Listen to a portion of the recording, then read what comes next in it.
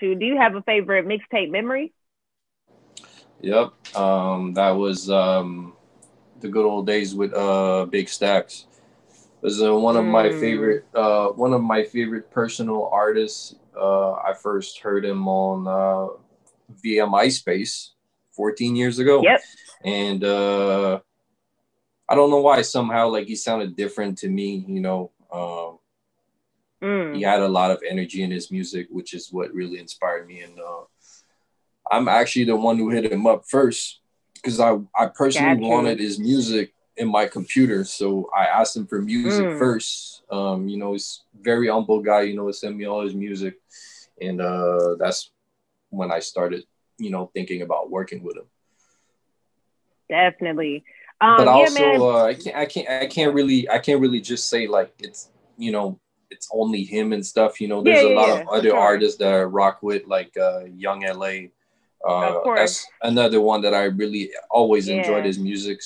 Uh, even before his Grand Hustle deal, I was always a fan. You know, um, mm.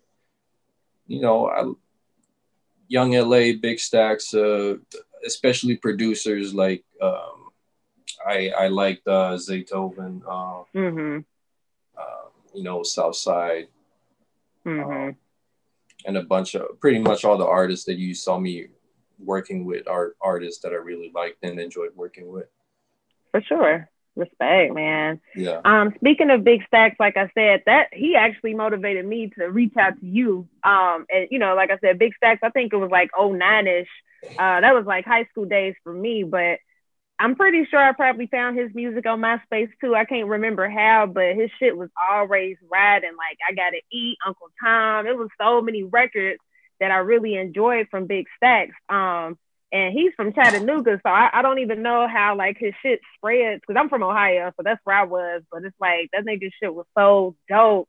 Um, so talk about Big Stacksss, man. I know we had kind of spoken to DM a little bit um, but I always wanted to know where has where has he been? Because I, I was a fan, you know.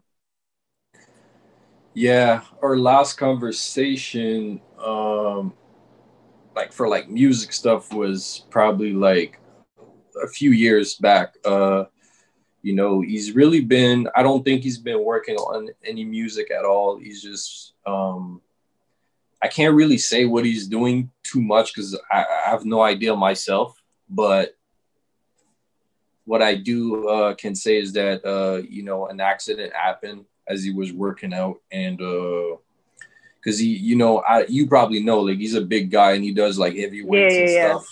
So an mm-hmm. accident happened as he was working out, and um, yeah, he lost. I think he lost part of his memory, and uh, he could not. I don't think he could even rap at that point anymore. So he completely mm. lost it.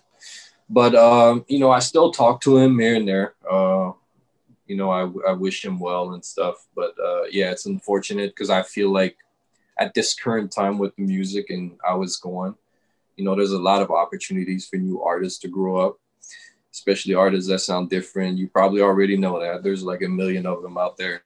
So I feel like right now would have been like a good time for artists like him to to grow and you know get even bigger. But unfortunately, that's not what's going on right now. Got you. Got you, man. Well, yeah, definitely prayers to him, and um, you know, definitely, you know, just keep his music and name alive. You know, that's all you can do at the end of the day. So, Big Stacksss is actually one that I would like to work on. Um, at least mm. have a mm. project with him with like that, have like all his best music all together. So definitely, yeah. definitely, that'll be super dope, and I think a lot of people would absolutely appreciate that. So for sure.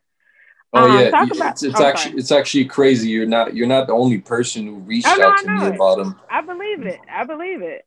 I believe that. You know, back then uh, on, I think uh, you know I play a lot of games and stuff online and stuff. And uh, one time I had my DJ name as my uh, you know mm, uh, username on on Xbox yeah. and stuff, and I had people hitting me up in my DMs like, "Oh, what's up with Big Stacksss?" But like it was just random people, wow. you know. So yeah.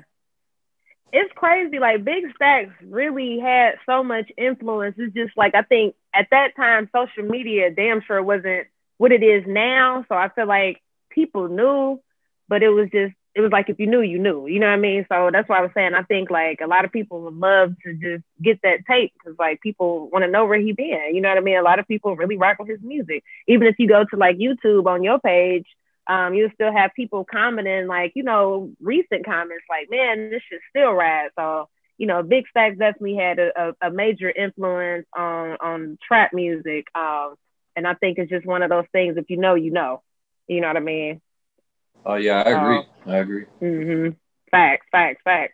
Um, the progress report.